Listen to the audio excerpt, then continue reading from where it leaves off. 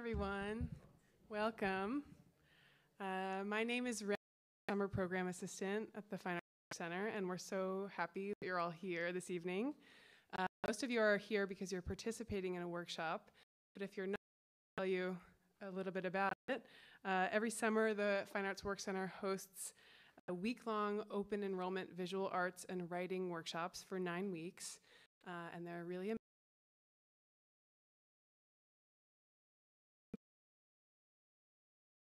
to tell you more about it, or David, who's the summer program director, uh, can also give you info. Um, favorite parts of the summer programs is that every week our world-class faculty mesmerizes our audiences with presentations and talks.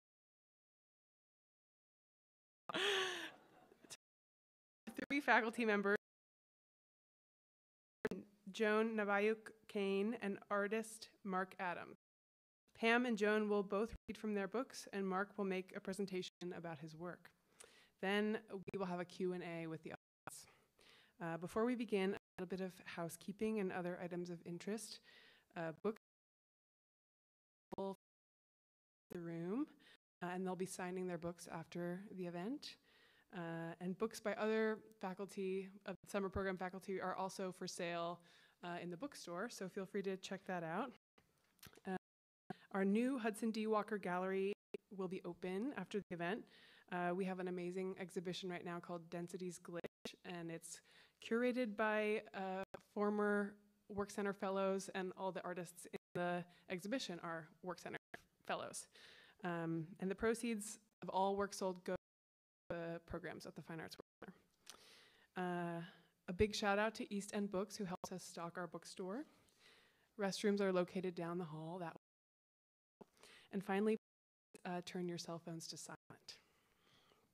Okay, we're going to start with writer Pam Houston, a longtime member of the FAWC Summer faculty who's teaching a course this week called In Defense of All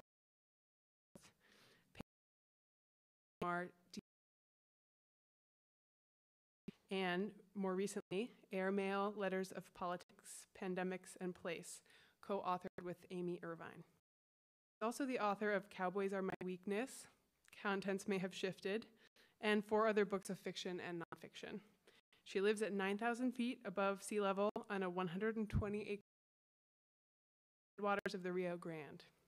She raises Icelandic sheep and Irish wants and is a fierce advocate. Readers of her work admire and applaud the deep passion and admiration for the natural present throughout her body of work and Kirkus Reviews described her memoir, Creek, as an inspiring love letter to one piece of earth and to the rest of it as well. Please join me in welcoming to the stage Pam Houston.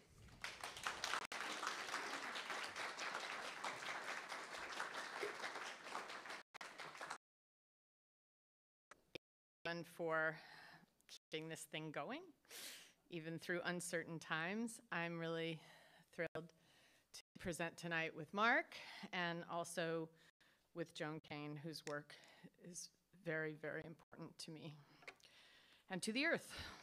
Um, so I'm going to read two. They've both been Deep Creek. Um, they were both written on the written for an anthology, A Stranger, and the second was written in an anthology called Alone Together, which was to raise money for bookstores during uh, during the COVID shutdowns. Um, so I'll begin with Letter to a Stranger.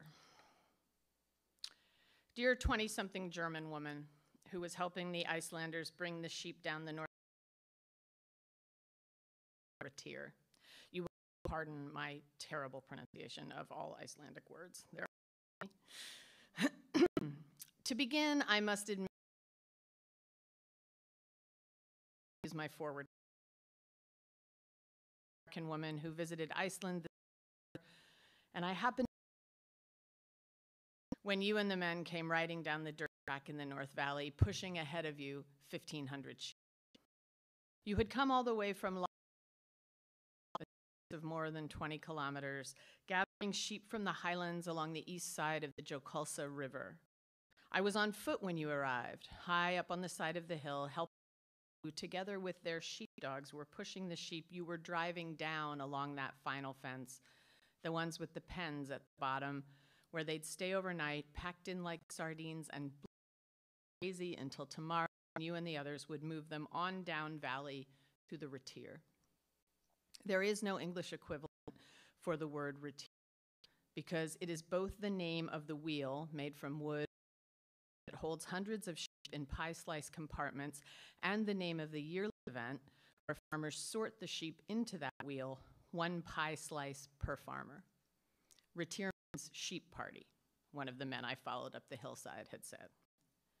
As I watched you dismount, sling your saddle back and place it on the crossbar of a fence for airing, I guess it was your second summer in Iceland, and also that there was a young man waiting for you back in Berlin.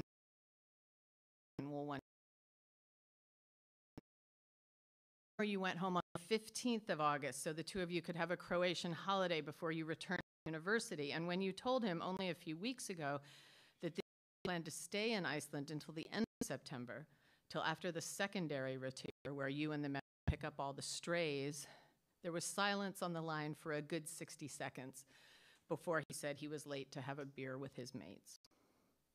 Maybe honest with yourself, you would admit that you miss your Hanoverian gelding till a bright withers and a floaty extended more than your code writing.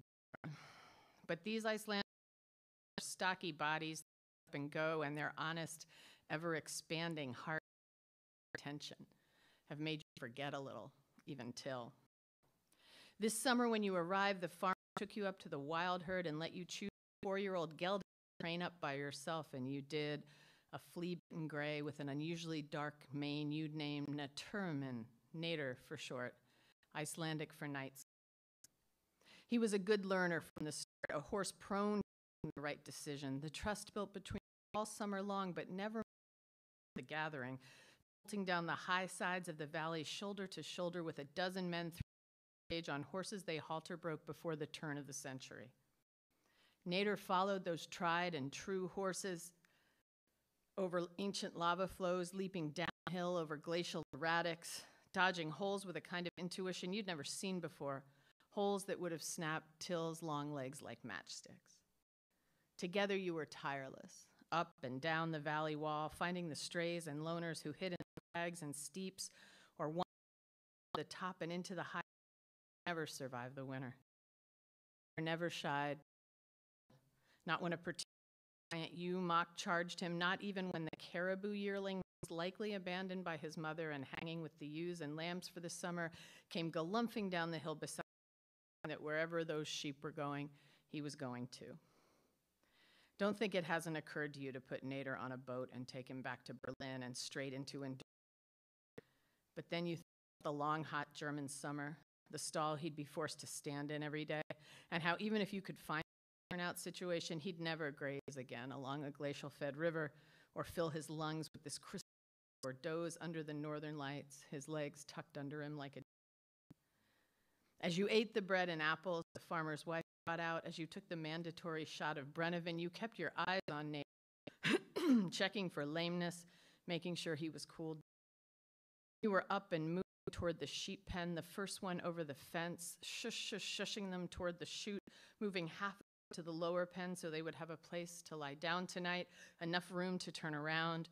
Panicked lambs bleated for ewes and vice versa, and you moved with the wave of them, advancing and receding, resisting and capitulating.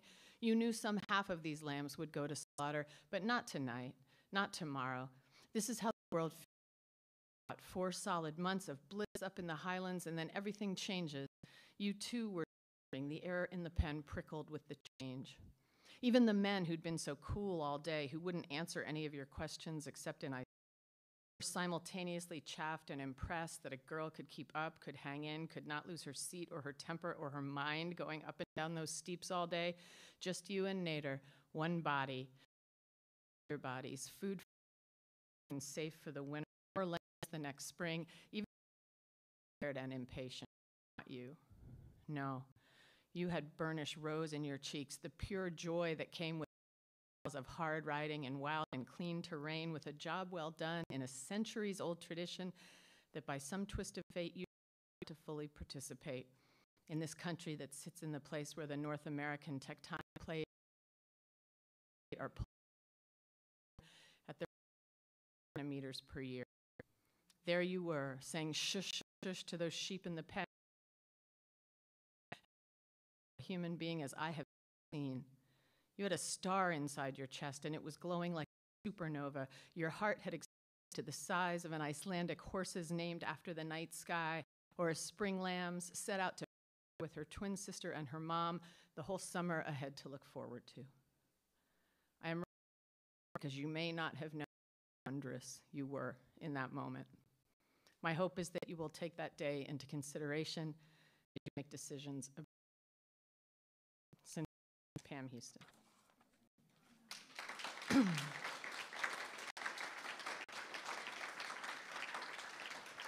Thank you.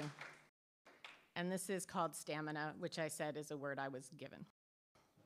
It's called Stamina Memorial Day Weekend 2020. A lamb was born here on Saturday, a little ram. And when I say little, I mean it. He was a preemie, born late in the spring, conceived a month usual end of mating season. The last thing we need around here is another ram. We have two already. And though they are best friends, they spend most of their time with the top of their heads grotesquely bloodied, suggests. Sometimes for fun, they ram me, taking me down from which are any firm the wildest of the domestic breeds. The rams have large circular holes, big enough to do some damage. My Icelandic mountain lion and though some of them lost the battle, some of them, including Elsie, the mother of this little preemie, won, which is alive to birth another ram, which, as I mentioned, is the last thing we need. The ewes who protect from predators, while the rams, the ones with the cower in the back. It is also the ewes who protect their babies from the very rams who provided that created them, I have seen a ram toss a newborn into the minutes after birth. Luckily, lambs bounce. The rancher the boy in order to petition, but I have seen a ram, a tiny mule. And as I was running to get them separated, I have seen the five postpartum ewe pin that ram, who weighs a third again she does, to the ground. Saturday's lamb was the tiniest ever, a little listless, not eager to nurse. Icelandics always give birth on his feet and well fed. Over the course of the long afternoon, I prompted the little ram to nurse successfully at least twice, but Elsie wasn't doing much to encourage him, which made me think she had already given him up for dead. There is always the thought when a ewe shows little interest that might know the lamb has some genetic or that one of his internal systems isn't right. I live at high altitude, so even this far into May, the temperature was forecast to dip into the low 20s. After nightfall, Elsie wasn't even trying to keep the little ram warm. He was too out of it to seek comfort himself. I bundled up in my fleece lined pants, my down parka, and wool hat to sleep in the barn with Elsie and her baby. Why didn't I take the baby into the warm house with me? I was still hoping Elsie wouldn't reject him outright. A lot of fun, but they rarely get the nutrition and antibodies they need to thrive to their fullest capacity. What you learn on a ranch, and there are few things in the world sweeter than the tight, tight curls of a newborn Icelandic sheep, or the warm breath that rises up and out of him, or when he licks with his tiny pink tongue. a year from now, should this baby live, he will be big and strong enough to break my kneecaps. But this summer, he will bound around the pasture chasing butterflies, buying his sweet, high pitched ba, and tumbling through with his older girl cousins. Most of my already gone too far trying to save him that I always let nature take its course. Not a rancher. I am a writer, a teacher, a progressive, an activist, a woman his Icelandic sheep and names them. COVID has kept me home for three solid months and connected me more intensely and animal sleeping in the he bedded down away from the lamb and I lowered myself to the ground with my back against a haystack and pulled the baby into my lap. He snuggled into my down jacket, making it up. I let him, but then I stand there staring at the wall, swaying. So I would scoop him back up and he'd head down again. At first light, I got him a little, but Elsie wouldn't stand still long enough for him to get much milk. By 8 a.m., he had lost the use of his back leg, shaking, no sign he was starving to death. There is no substitute for authentic ewe's milk, but I went to the house and mixed up some Save a Lamb milk replacer. The baby was too weak to suck, too weak by then to care, so I force fed him, not with a tube, just with. I forced the nipple and rubbed his throat to make him swallow and didn't let him out of my lap until ounces of the milk was gone. With newborns, if you're going to much. He had stopped shaking, but his eyes were dull and he was still unwilling to stand. By that time, I decided if he was going to die, I could give him some comfort. I rocked him and kissed his lanolin smelling head ends of horn. He weighed, it seemed, almost nothing. Elsie watched a little coldly, I thought, from her corner of the enclosure. What do you know that I don't? I asked her, but she just chewed her cud. I didn't know what was wrong with the little ram, but I did know that 100,000 Americans would be dead from COVID by the end of the week. I knew the real number was actually higher because several states, Florida, Georgia, Texas, had been cooking their COVID books. I knew the vast majority of the dead, grandmothers and grandfathers, husbands and wives, doctors and nurses, daughters and sons, had died without their loved ones there beside them. And I knew tens of thousands of those deaths were unnecessary due only to the colossal failure, perhaps intentional, of the Trump administration and its enablers in the GOP. I knew that our government was being intentionally dismantled from within. I knew that by virtue of being an outspoken woman, I was no longer safe here at my beloved ranch. And I also knew that on the scale of who is and who is not safe in this country, I fared infinitely better than most. I knew that it was long past time for those selfish men to relinquish control of the country into the hands of women. I knew that it was time for women to step into the power that they had been gaslighted out of believing was theirs all along. I knew I had some role in that, that perhaps we all did. I knew I needed to figure out what it was. I spent all day Sunday in the barn and force fed that little ram six more times, two ounces every two hours. He got so sick of me shoving the rubber nipple into his mouth that the seventh time he got up, bobbed and weaved over to Elsie and started nursing. I, was, I spent Sunday night in the barn too, but by then he was toddling around again and Elsie was showing a bit more interest. Mostly he slept curled up against her, coming over to sniff at me once an hour or so, maybe making sure I was warm enough. By Monday morning, it seemed for the first time the little ram might make it. Before the day was over, a Minneapolis policeman named Derek Chauvin would kneel on the neck of George Floyd for eight minutes, killing him. When I was a little girl, my father broke many things that belonged to me my femur and my hymen, to name the two most significant. He crumpled 16 of his cars around my body and his own, driving drunk and careless and angry. Then there was psychological torture see any Trump tweet of the last 72 hours, of any 72 hours, which I still insist was the worst torture of all. Surviving my father's house took hypervigilance, wiliness, the ability to separate my mind from whatever was being done to my body. Most of all, it took stamina, 17 years of it. The beat always in my head saying, keep your eyes open, plan for the worst case scenario, stay alive at any cost, survive long enough to get out. By first light on Tuesday, the little ram's legs worked perfectly. I spent parts of the next days and nights in the barn, and then it warmed up enough to send me back to my own bed. Now he's a week old, skipping across the outdoor enclosure, bouncing off the walls of the stall, crawling all over Elsie, and ramming the holy hell out of the water trough. He weighs four times what he did last Saturday, and when I lift him, I feel his warm, rounded belly full. The milk replacer is closed up and put away for next year, and even now, every time he sees me, he runs straight over to Elsie to nurse. I am not any sort of hero. I saved the ram because I thought maybe I could. I saved him because none of my heartfelt writing, nor my activism, nor my passionate progressive values could save George Floyd.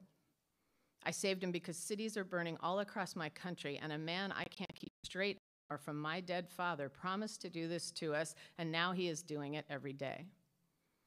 I saved him to mitigate, if slightly, the wave of grief that is raining down on us, to prove to myself that I have both the strength and the stamina to save at least one small, fragile thing. I left my father's house when I was 17. Did not expect to find myself at 58 back in it, along with my 330 million brothers and sisters. To beat COVID, to beat these goons whose endgame is always cruelty for cruelty. We are going to have to play the long game, all of us together, even if the men with the horns cower in the back. I can't run quite as fast as I used to, nor kick quite as hard. But what I haven't lost over the decades is stamina. Sleeping in the barn for a week to save a lamb whose mother left it for dead may not sound like much, but my mother left me for dead too, so often in my father's bed. And now you ought to see how I can ram a water trough. You ought to see how I still bounce. Elsie looks at me with a little more respect these days than she used to. In the wilds of Iceland, she might have had to abandon that baby, but here she has a barn and a woman just tenacious enough to believe she can save anything. Maybe some lives, maybe democracy. This morning, and only this morning, I named the little ram Tank. Thank you.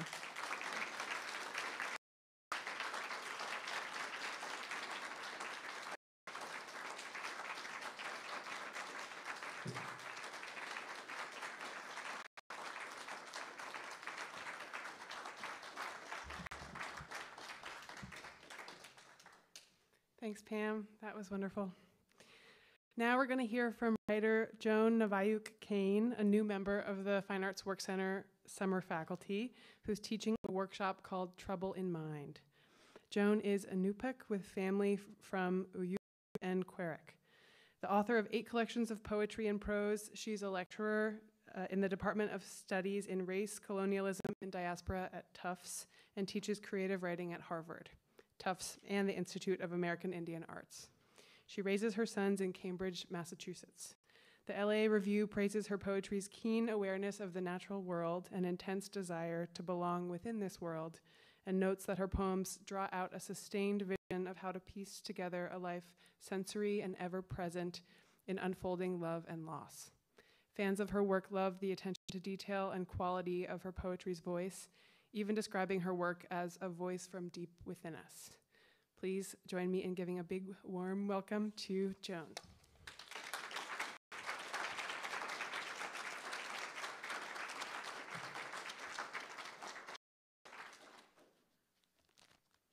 Oh, I missed the mic check. Sorry. Is that good? Oh, I hate microphones. Oh, right there. Um, it's not going away either. It's going to be there until I'm done. Um, it's going to outlast me. Okay. I'm not going to extemporize. Um, wanga atira Naviyuk mironga sulikaya mironga. I'm called for my namesake Naviyuk, and my ancestors and my children and I share our homes of King Island and Mary's Igloo. Um, here we go Let's get this over with. Cutting the river. I woke up like this on the shore of a snow beaten sea during the dark part of a day that will darken like the others into the dark winter. When the tragic figure thinks of death, he thinks of me. In this way, I become at last another bright departure. Hot loss and yet high fed, witness the mountain I make of his grass widow before her middle, too, is worn away with reckless weather.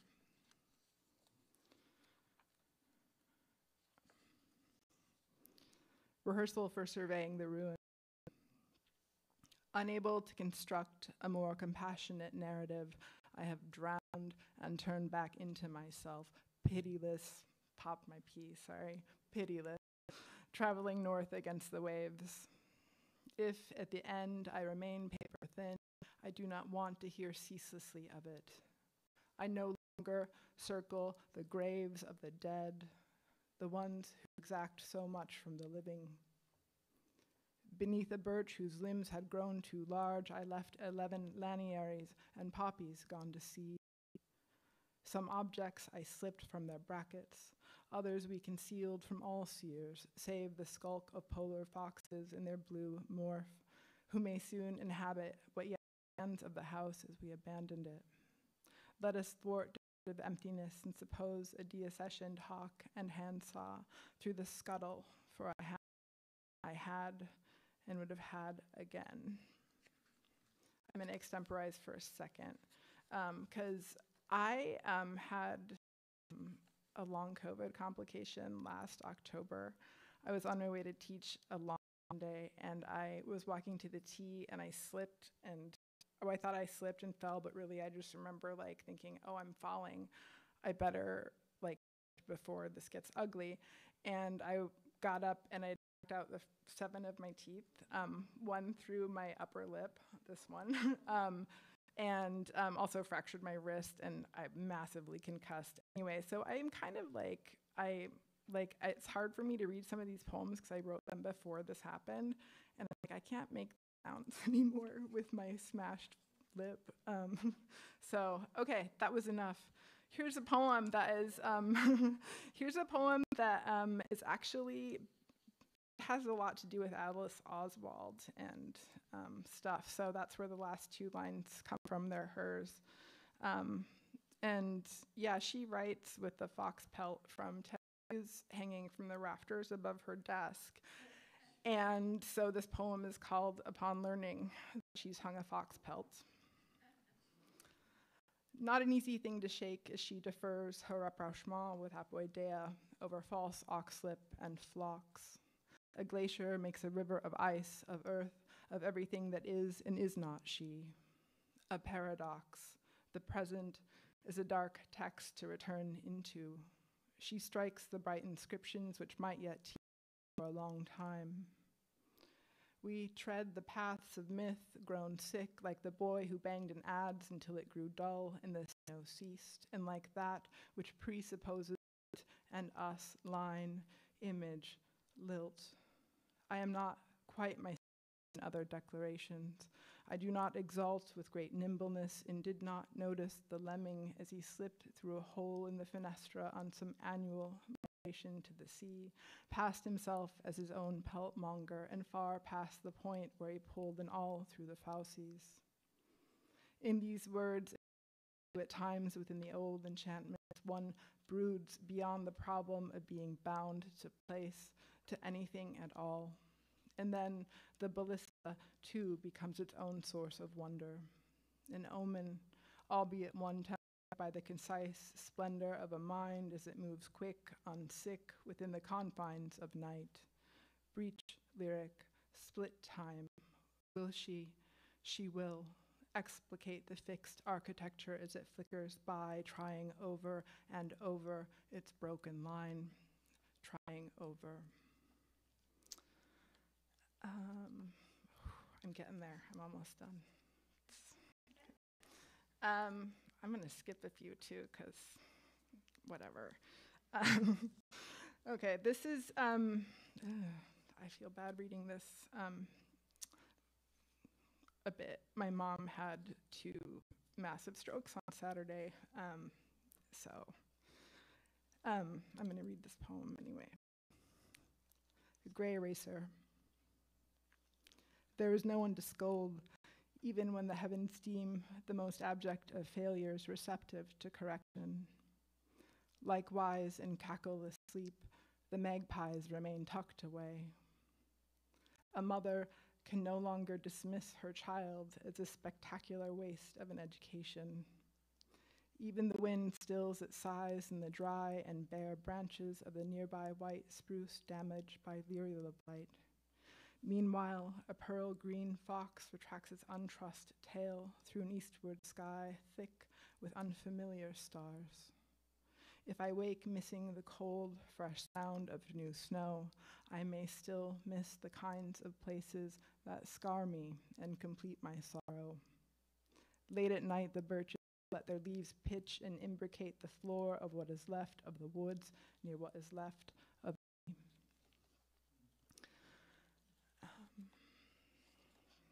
Okay, here's a really cheerful one. Field work. Another day of heat, strangers continue to wobble across the horizon, bringing drought when instead we should have deluge. I steep snow lichen in water I drew from a lake just since gone dry. At sea, few understood me, as though I was a sickness that deafened, then healed. As before, I predict lies to be pushed from the boat and time again. Nevertheless, I expect to get by. Widowers seek refuge with their provident families.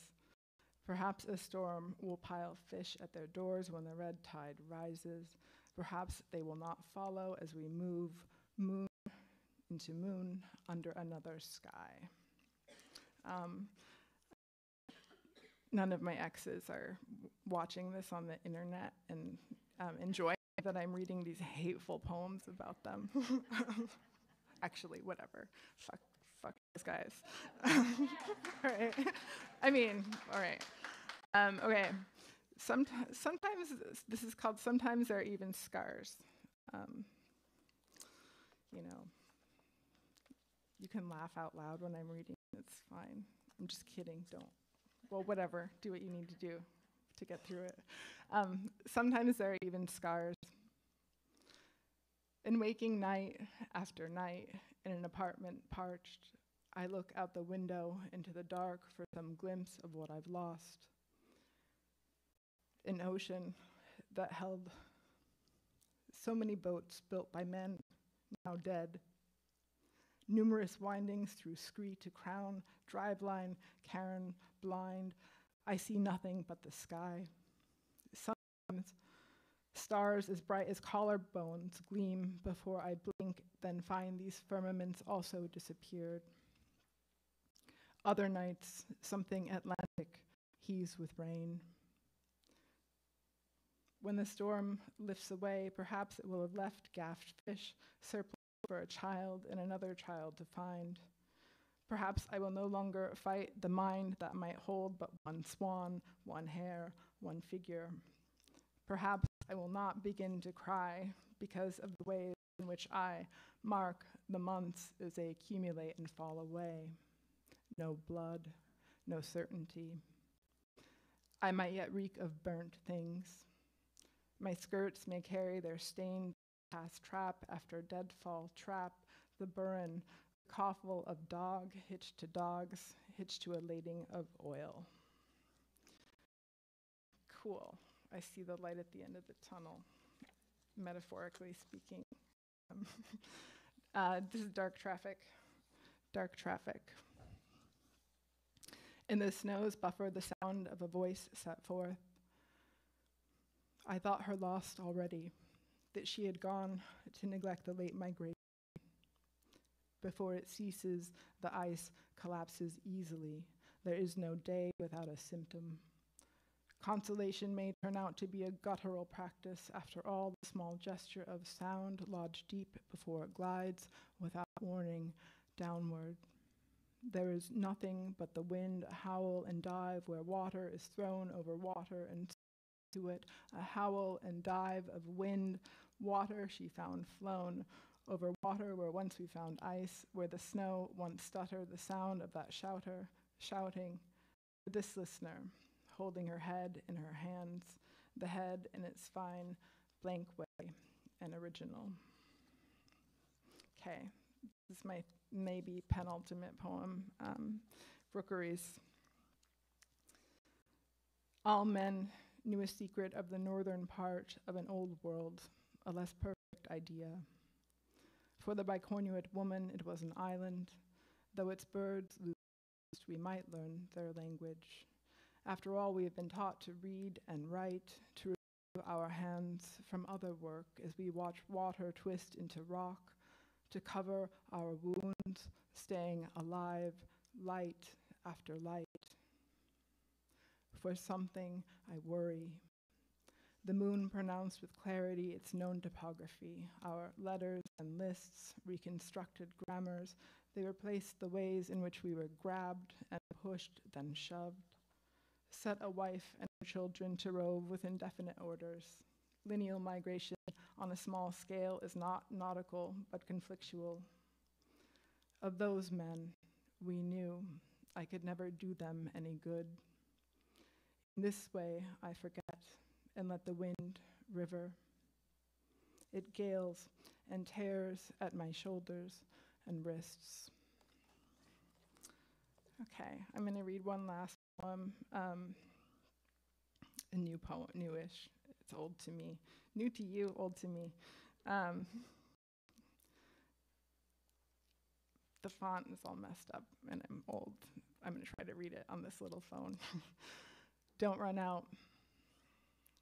Real and white as snow. Have you forgotten the swan crossing with a dark tide southward to the sound? Not too far off, firework and blast of something hard to reach and harder to escape. I remember without you, a woman's quarrel. It passes, quarrel with no one. Iliran Emin, thank you so much for listening. I'm done. I'm done.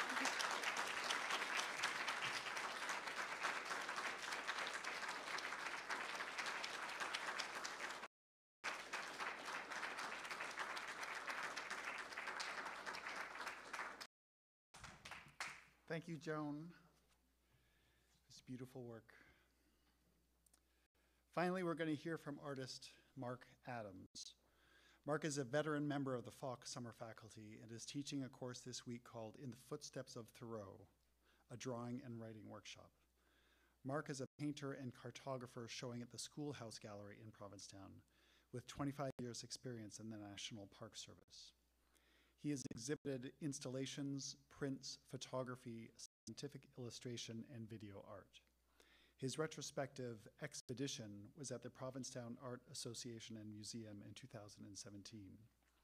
He has traveled with a sketchbook in Asia, Central America, and Europe, and has illustrated and co authored a geologic primer, Coastal Landforms of Cape Cod, with geologist G- Graham Giese from the Center for Coastal Studies and Woods Hole Oceanographic Institution. The Schoolhouse Gallery describes his work as being about things that imperfectly represent nature to our society, harvesting curiosity, wonderment, and a little biology as source material. Please give a warm welcome to Mark Adams.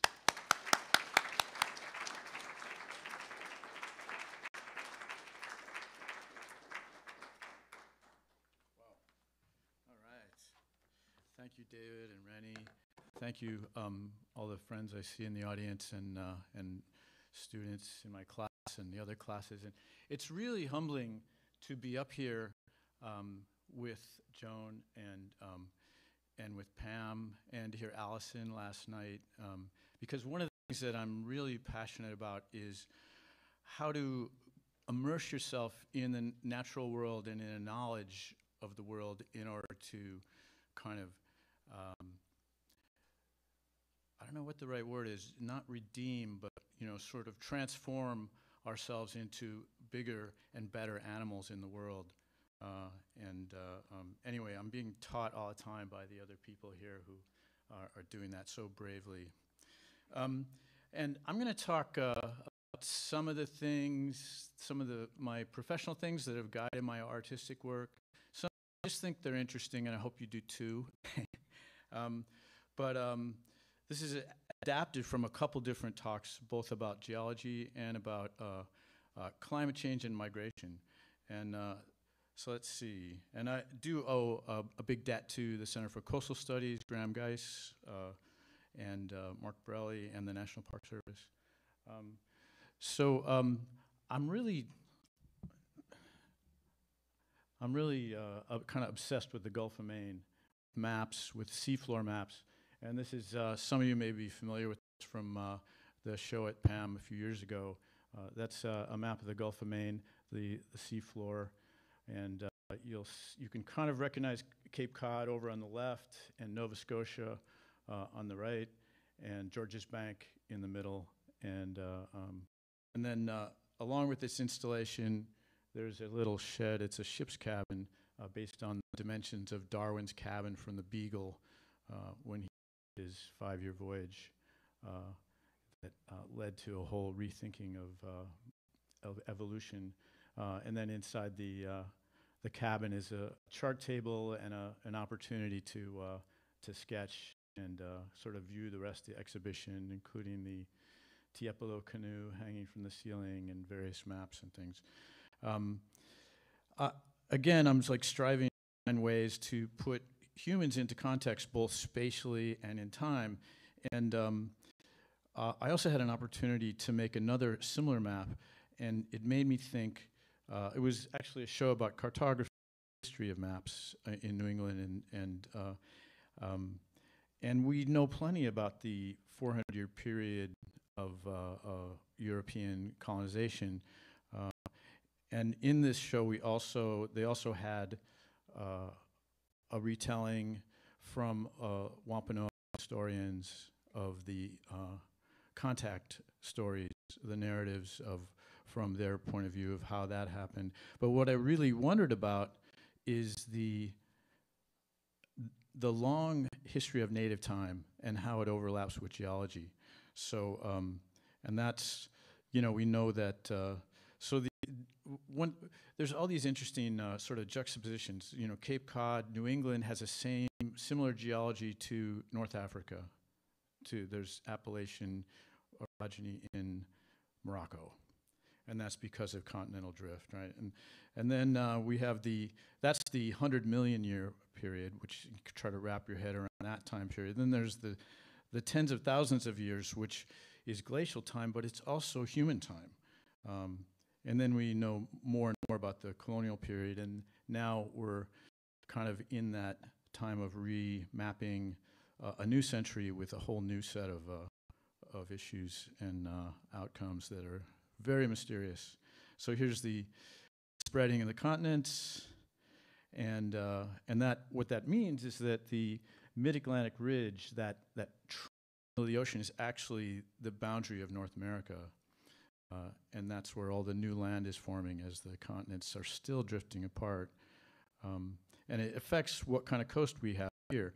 And then this is a little representation of what Cape Cod and New England might have looked like uh, 22,000 years ago. And then the, the glaciers retreated and left this kind of glacial outwash, finely sorted plains. Uh, notice the stump of Cape Cod, uh, there's no Provincetown, and that's because Provincetown belongs to another era of uh, car- recarving that landform and creating from marine sand and waves uh, as sea level rose. Sea level rose 400, 400 feet in that time period in the in, in time. You know, human human time, uh, let's say, is somewhere in that 20,000 year uh, range. So I, I wonder what kind of stories are embedded in narr- in in uh, indigenous narratives that tell ab- about the life, ways, and experience of that uh, geologic time. You know, let's. Uh, so I made here uh, on the left, which is full of uh, representations of Pleistocene megafauna that humans might have encountered when they came here. Uh, those are things like mastodons, giant bears, walruses, of course the whales and sharks. But that everything in yellow was dry land, when the first humans arrived. You know, we think, see the continental, but, you know, that navigated this, these vast coastal plains, you know, they must have had, so that, so, uh,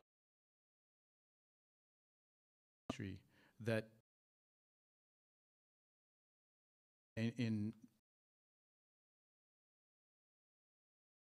and so here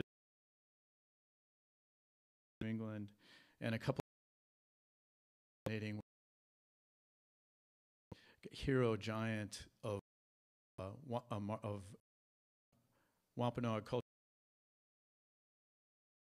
uh, through the sand and create the water flowing partly because he was mad. Um, but a metaphor for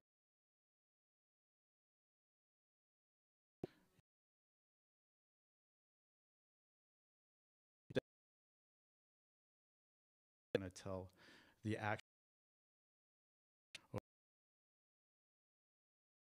along with the exhibits uh, in the Cape Cod Museum of Art. Um,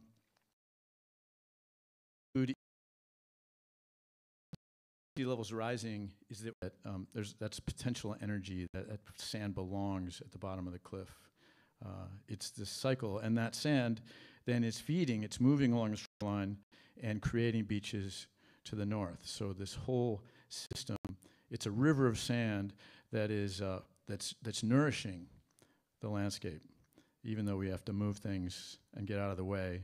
And now that we know about it, uh, let's see. So yeah, everywhere that you see these spits and things, you moving that direction. So Monomoy Island to the south, Province Sound to the north. and just uh, uh, let's play this out. Ev- there's about a wave every six seconds. A square meter of water weighs about a ton. Uh, how much sand can a ton of water carry? Uh, well, it's it varies by, based on the sand, but we have there's like 14,000 waves a day, five million a year. So when you're laying on the beach with your book, reading for an hour, there's the equivalent of uh, well, let's see, we had 150 dumps per day of sand that are constantly moving along the shoreline. Um, and this is kind of one of the concepts behind everything, behind living sustainably with nature, is that nature does work for us. Uh, there's all of this equity in a sustainable natural system. Uh, let's see. So, yeah, and as I said, you know, we know better now. Uh, we can actually plan um, when to when to get rid of the houses on the cliffs. Um, Thoreau, who's sort of like one um, uh, mascots of the class I'm doing this week with his walk around the Cape, he was really kind of a smart guy. Um, and he was a surveyor, and he, his observations were not informed by all the science we have now, but they were really astute. And what he did is what, what I try to do with my uh, sketchbook practice is to just intuit and make sense out of real observations in the world. There's a view that was on some of the early charts from the from the 18th century of uh, the cliffs of Truro. This is what a sea captain would have seen and had to interpret uh, the shoreline. And so this is Thoreau's era. This is Hopper's era, but it's also Thoreau's era. That's Cornhill and Truro. That's the old South Truro Meeting House. This is the landscape that was there that's celebrated, this kind of deserty uh, moors landscape. And it was actually the most artificial and industrialized landscape in the history of New England. It really was New England wide.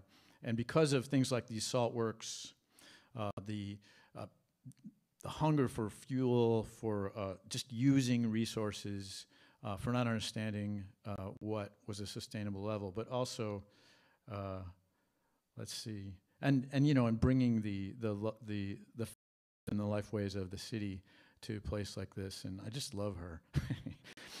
you know, I'm gonna put on my hat and go uh, pet. Um, and the whalebone arch in the background. What's her name? Be, it's it's uh, the pen, the daughter of Penniman in Eastham, and that's the Penniman House with the whale jaw uh, gateway.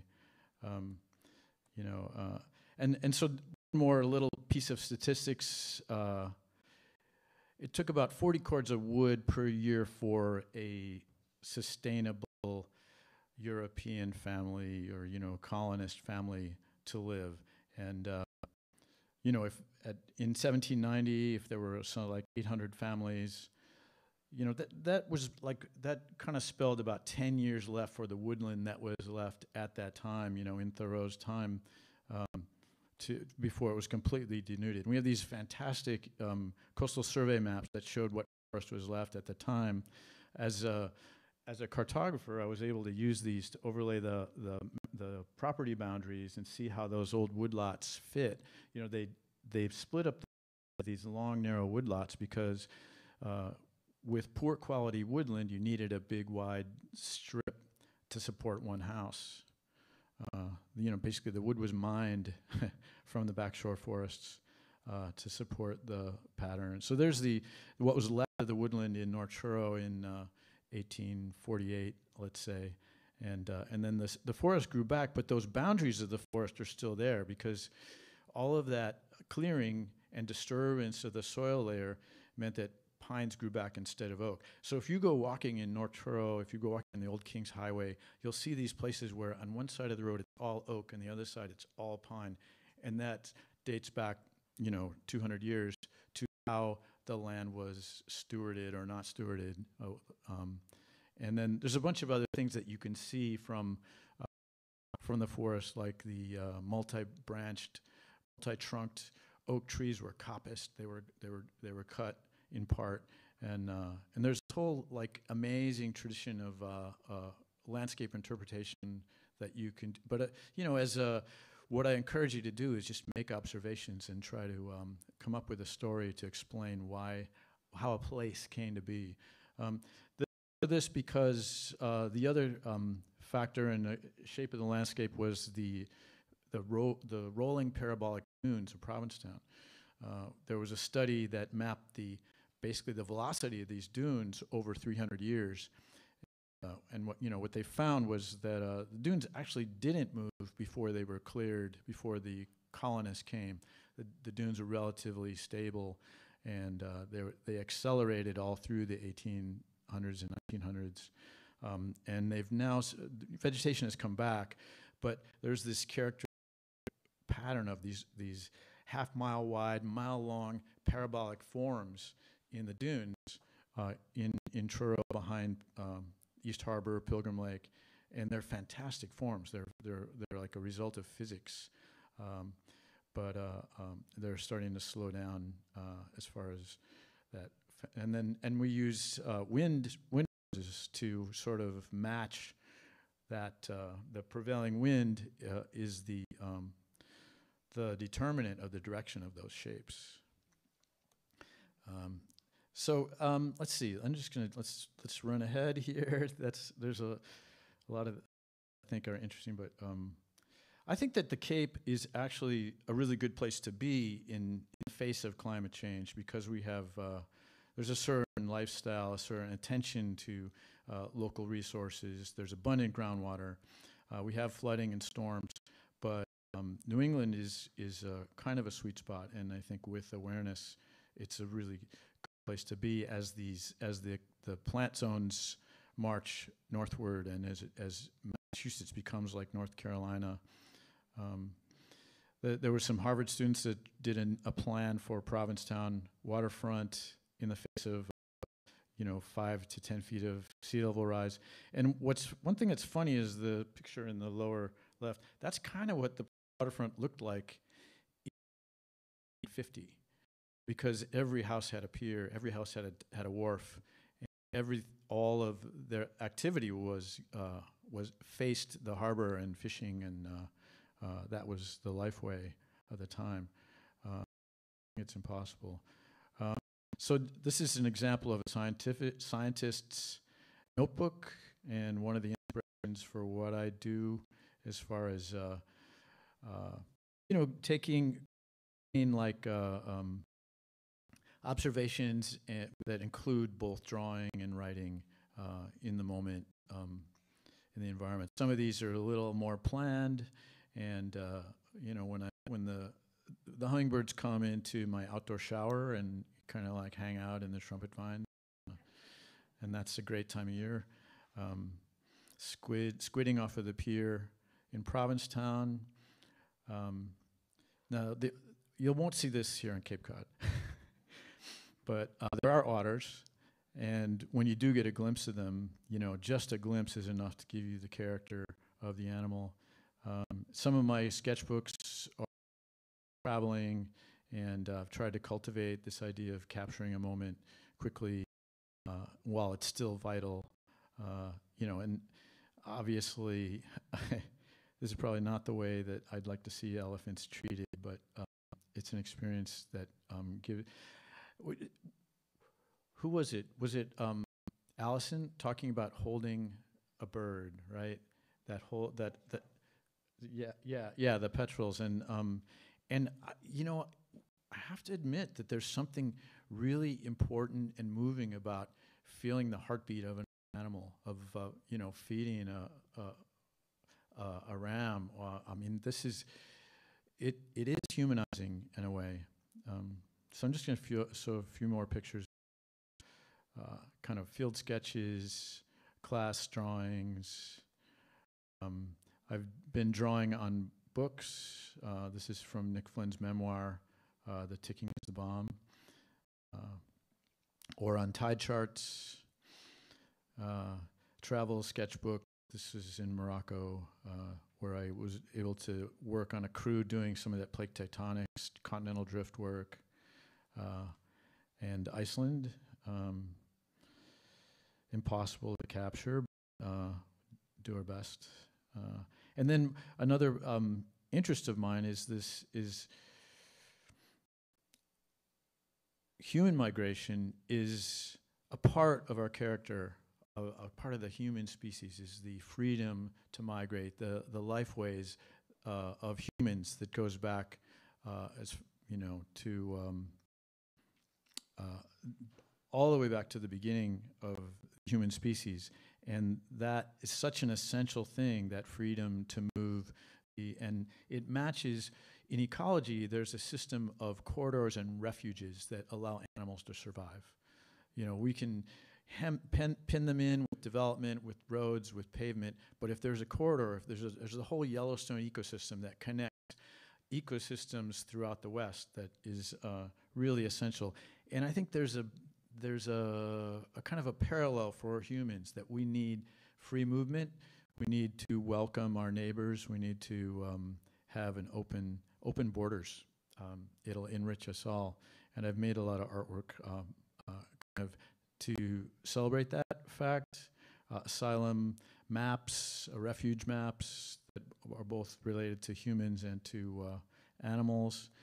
Um, and I also did some work volunteering with refugees in the Mediterranean, and also did some work raising uh, funds with drawings for uh, the Mexican border. This is a refugee camp in Athens, and I spent some time in uh, Lesbos. Uh, and you know, uh, okay, so this is a really kind of moving and shocking sight. This is on, on Lesbos. This is called the Life Jacket Graveyard, uh, and all of the. This is a long journey. I'm not going to um, try to explain it here and now. But, you know, that gateway to Europe. There's a few gateways to Europe where uh, you can present your asylum claim.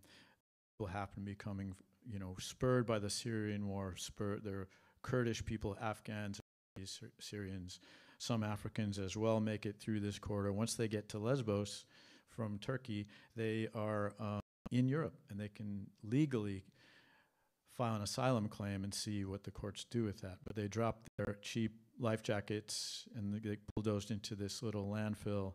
And um, I went there with a few of the refugees, and they were like, "There's my life jacket," you know. Um, and uh, and one of the thing, you know, I can't tell the stories of these, but working with them, I found that uh, doing portraits, you know, even photography is sort of questionable, but I could do their portrait, and it was a way of uh, shining a spotlight on their identity as people.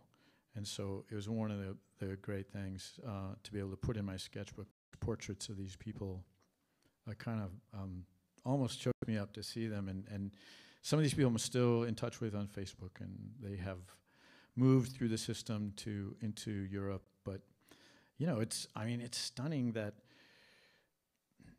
that displacement story, where everything that your life is centered around stripped from you, and your fondest dream is to have a, a tract house in a place where you don't speak the language, where the climate is foreign to you, where the the food is maybe uh, distasteful, but that's again way to reestablish your home. And think of how many times humans have gone through that that refugee process in you know in over time.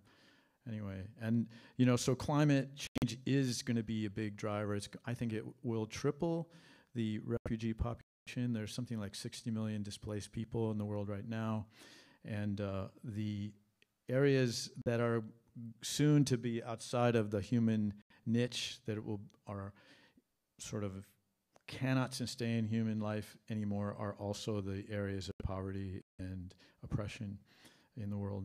It's a big match. Um, this was on the bulletin board in the uh, refugee uh, center.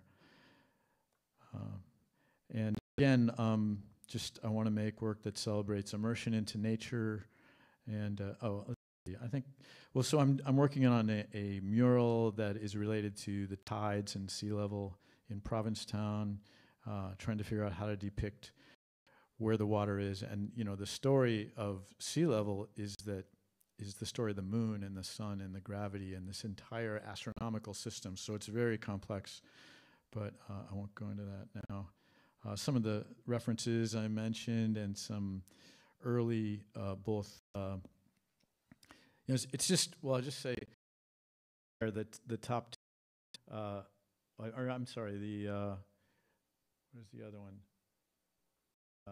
Actually, well, the New English Canaan I would pair with uh, the Bradford history, the Pilgrim history, because uh, English Canaan is written from the viewpoint of someone who was much more sympathetic that there was a human population here when he arrived. He was a trapper who married a native woman, and uh, he's the one that gives us the real information about how they uh, uh, tended the landscape, what agriculture was like, what their practices were. Uh, and I'll just close with that. Um, thank you.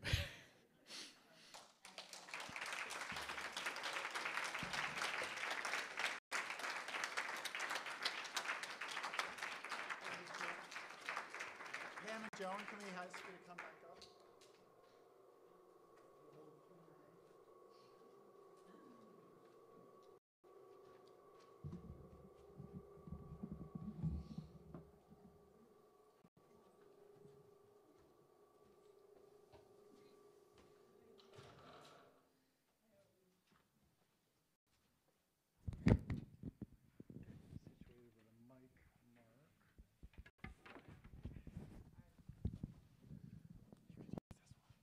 Oh, wow.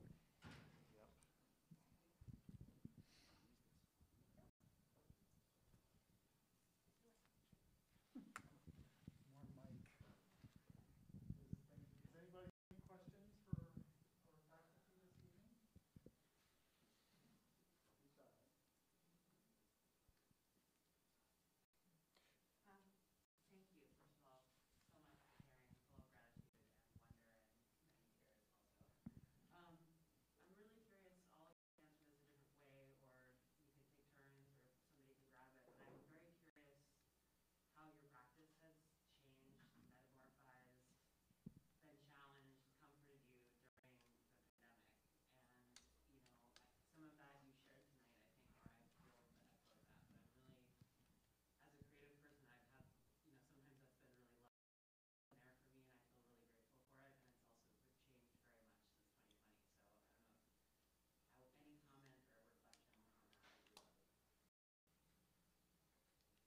I'd be lovely. Oh, I'm not starting that. Because my answer is really depressing. So I want to go last so I don't just, you know, detonate right here. Mm. We're kind of close together. Yeah. All right. I'll- I'll leave mine on then. We can enunciate through our. Yeah, um, yeah. Uh, I- No. I, w- I will say that uh, in response to the question, um, that live, because I, I'm here, uh, the, the pandemic has driven a lot of people outside. It's a positive, I think. And um, that's why I think that we're lucky to be in touch with nature here on Cape Cod. Uh, um, my, my day included a lot more outdoor time, a lot more alone outdoor time. And so that's a plus. Um, for me, um,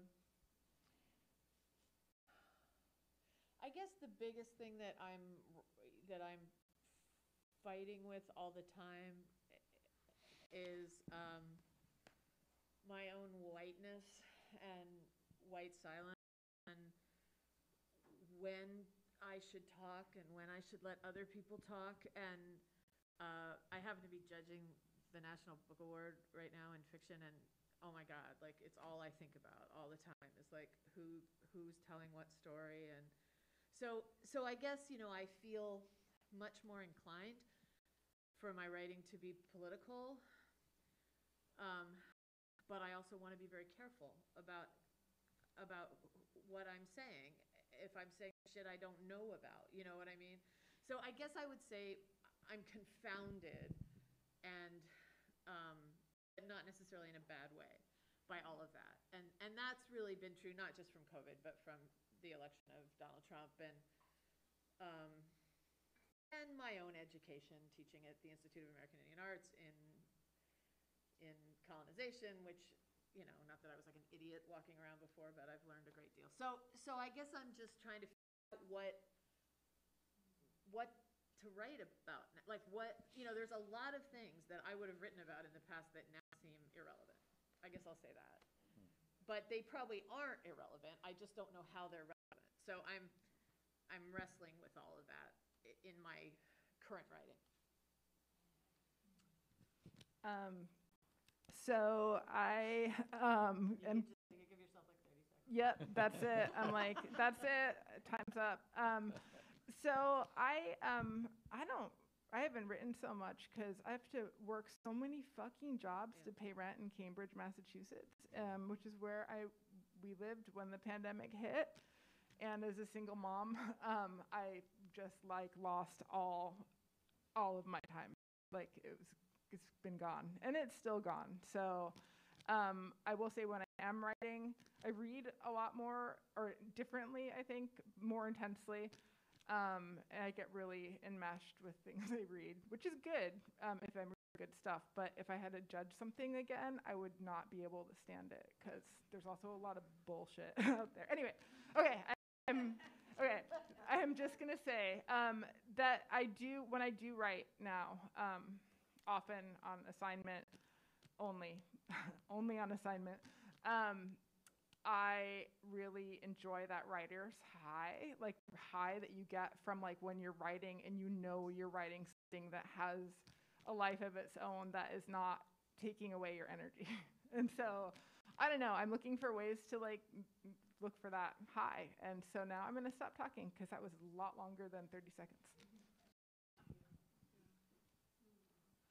I'll, I'll say that the reading, I've read so many, you know, I, I had to put my hands on 520 books this summer, and and I read, except for the ones that were obviously put them down after two paragraphs, which there were some. Um, I I made a promise with myself that I was going to read 50 pages of all of them before I put them in the file, and and now we're later in the process where we're we, we're down to 36 books and we're reading all of them, five of us. I haven't used literature to evade the world this much in decades, you know? Like I'm in those books and the books are, I mean, ha, you know, 2022 is a weird draw for the National Book Award because they were written in 2020. So half of them are apocalyptic, at least. I mean, I mean, they're all apocalyptic, but, but what I mean is near future after the thing, what it is. And there have been times when I've been holding a book in my hand and I've been like, I don't care if this is the best book of the year. I can't finish it. Like it's too awful. But then, of course, I get over myself and I keep reading. But like this particular pile of books is so grim, like so grim and true, you know, to what we're facing. And so, so it's not like I'm escaping with murder mysteries. I, it, it, but I'm, I'm living in literature this summer in a way that I haven't.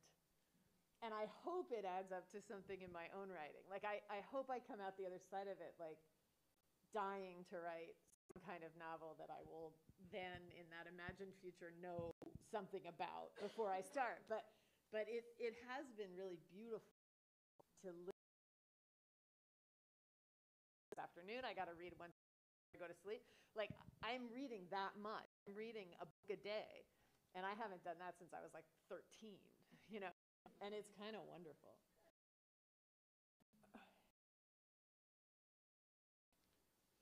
Do you find authors or up, you know, the, the doom and the uh, crashing of the world and Are they more what? are they, is that what they're writing about? Oh, yes. That's, and and where do you think that, I mean, I know it's hard, but why? Wh- What made, It's the end of the fucking world. Sorry. I mean, I, I think they, they under, in a way that, that my generation seems to fail to understand. I think they understand that, you know, they're, if they were to, like, none of them are having children, for instance, because they know that their children wouldn't live to be 50, you know, or whatever. Like, I think they understand where we've left them much better than we do. Uh, That's what I think. so there's no hope of the future? I mean, that's what I'm, I mean, I'm, I'm seeing that too, and I'm like, I, you know, I'm so not the one to say whether there's, ho- I, I think there's always hope, but I think hope is a thing that's separate from reality and art. and art. Yeah, I mean, I, I, I would never be the one to say whether there's hope or not.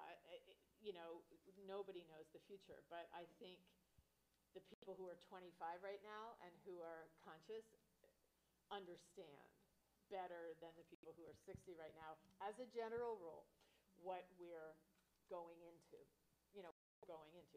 And, and I mean, I think about Terry Tempest Williams' book, uh, Erosion, where she says, um, sorry. Sorry.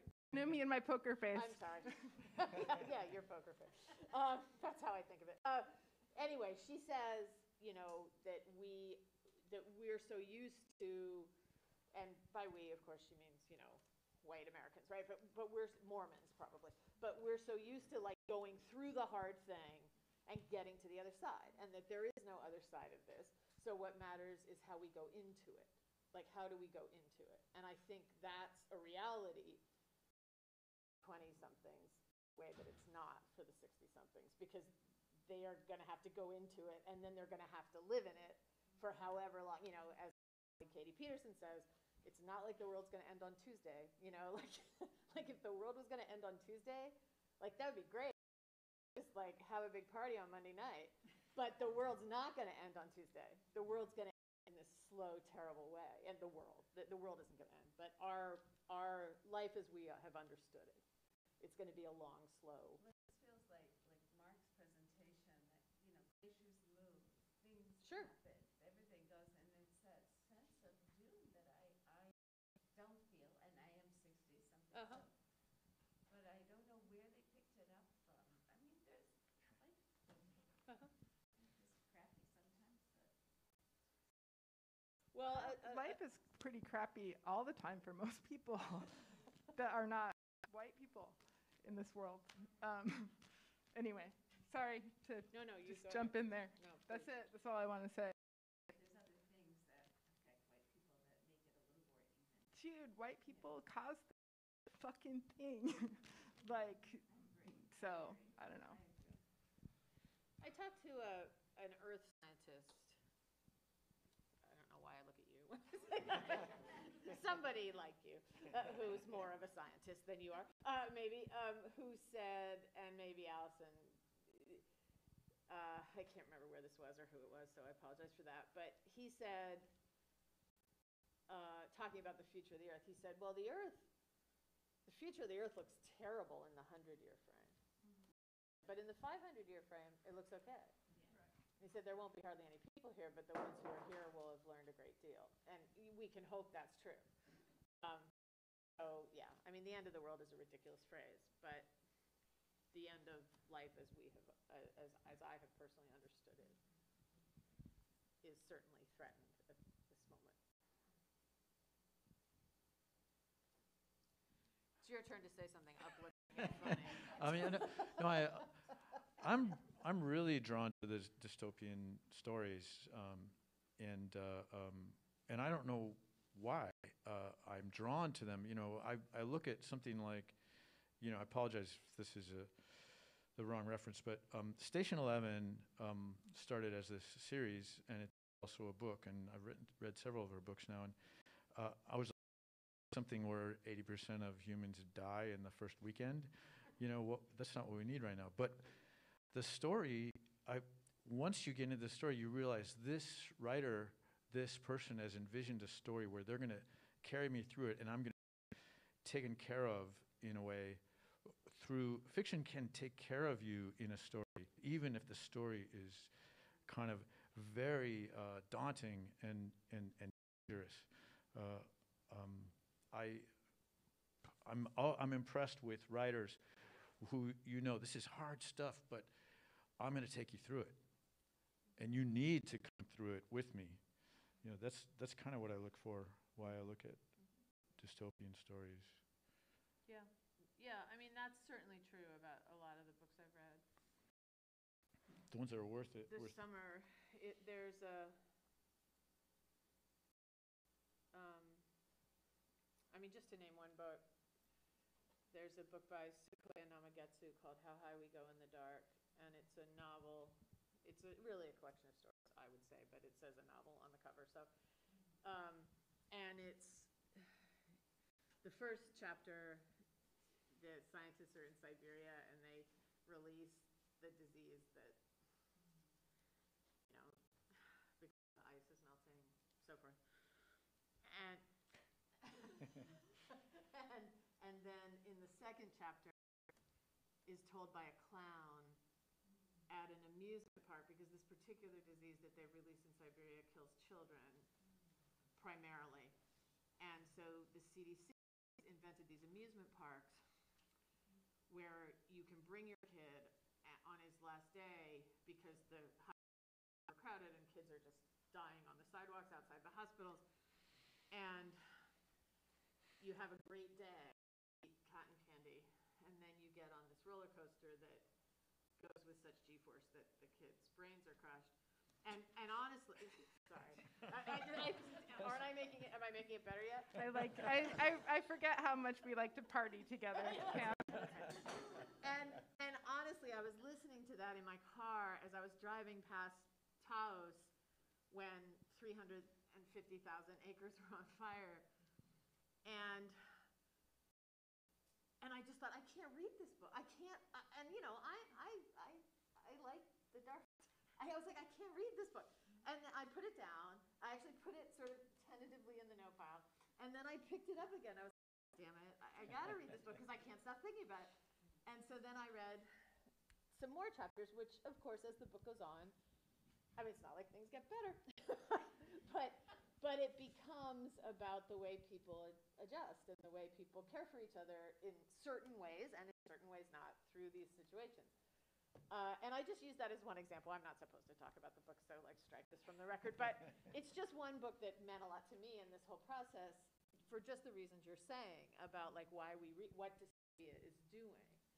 And you know, when I mean honestly, I mean just to you know, when you think about how much destruction in that little window of time of the colonization time that was on your screen just a few minutes ago, you know, Alaska, you know, all the salmon in like since statehood, since statehood, Yeah. we killed all the salmon, you know, because we can't stop ourselves, you know.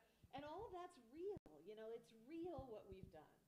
It's real what the colonizers have done to the earth. And we and, and, and if you're not thinking about that every day, I don't mean to the exclusion of everything else you think about, but if that's not in your consciousness, I, I don't even know how you're getting by. Because for me, like, I feel that as penance, and it's important to me to feel that. It's important to me to feel crushed by that as one of the many, many things I feel as I move through my day in the world, you know? I agree, and um, the, the only reason I brought up Station Eleven, though, is that in the, in the, as it, as the narrative unfolds and everything is sort of gone, the one thing that survives is storytelling, theater, art, and I've never really read a book that renewed my faith in art to uh, make white life worthwhile. Um, not that it it not, might not necessarily heal anything, but um, yeah. Anyway, um, Yeah, it, yeah, I mean, that's sort of where I started with my- my weird summer of living inside books. It's, it has been a place to, to not be in denial, you know? Uh, The books I have lived in this summer have been a way to not be in denial, but also to see the complicatedness of where we are and what we've done.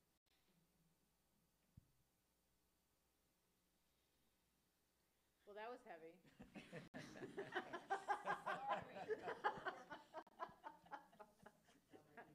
That might be a good.